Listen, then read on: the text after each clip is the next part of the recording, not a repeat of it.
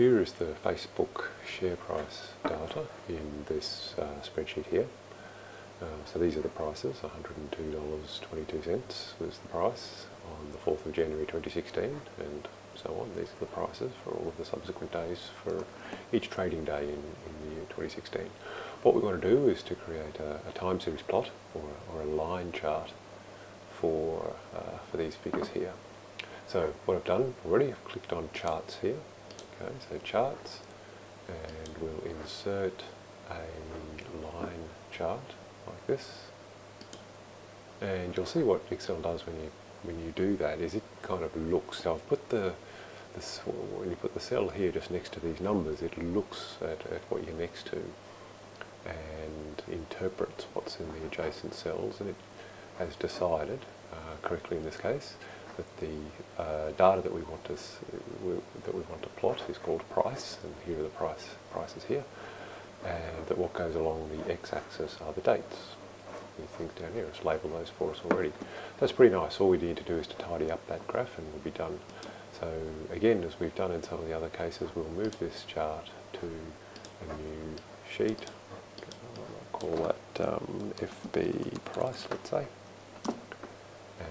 There it is there. Uh, what can we do to make this better? Well, we could probably edit the title, perhaps. Uh, didn't mean to do that. We can edit the title like this. We can go, uh, let's say, Facebook um, share price in dollars, like that. Uh, what else could we do? We don't really need a legend here because there's only one line here, so it's obvious what that line is if we um, if we label the title correctly. So we'll just delete that. Uh, we don't need to delete these grid lines, but I'm going to anyway. So we'll right click on that and delete those as well. Uh, now the other thing that we can do in this case is to perhaps rescale this axis here. Uh, so you can see that a lot of the space on this graph is empty because the share price lives between, I don't know, what is that, about 90, 90 and 130, 35, something like that. Uh, so in this case, this is not always a legitimate thing to do, but in this case it's a reasonable thing to do to select this axis and we're going to, we'll change the minimum value of the axis to let's say 80.